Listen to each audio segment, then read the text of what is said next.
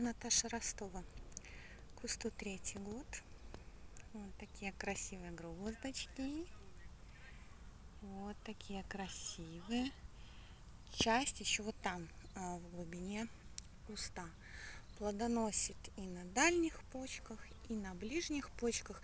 А, вообще она как бы должна быть желтая, с легкой розовинкой, но а, ввиду погодных условий у нас она окрашивается довольно ярко. Да, пока что есть некоторая неравномерность в созревании, но кустик молодой, поэтому что хотеть. Вот эта гроздочка уже так хорошенько подщипана.